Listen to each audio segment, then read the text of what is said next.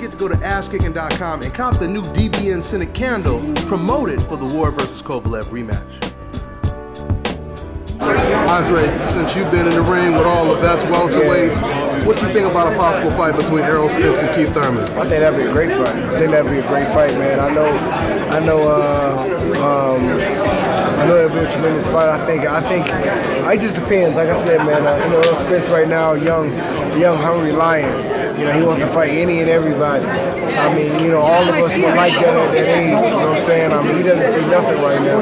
Um, you know, but at the same time, you know, I Keith Thurman, young, hungry as well. Keith has the equalizer. You know what I'm saying? He has that speed and that power. You know, that we have Errol Spence having, and he hasn't seen yet before. But like I said, Errol Spence, he's he's technically on point. He's strong. You know, he's in shape like crazy too. So it'll be tremendous fight. You can slightly lean towards one person on that one, man. I'm great, man. I'm great friends. I mean, I'm, I mean, of course, I grew up with Keith. That's my boy.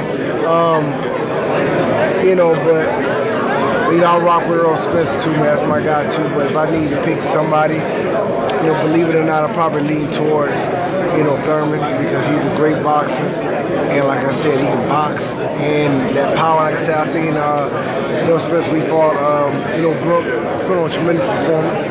Um, you know, but he got hit with us, you know, he got hit with some good shots. Um, and I just think that, um, you know, if Thurman hits him with those type of shots, it'll be a different type of reaction.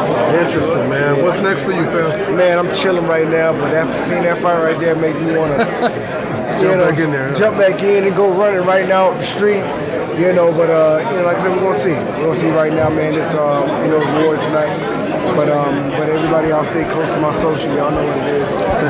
Thanks for your time, man. What do you, what do you feel about?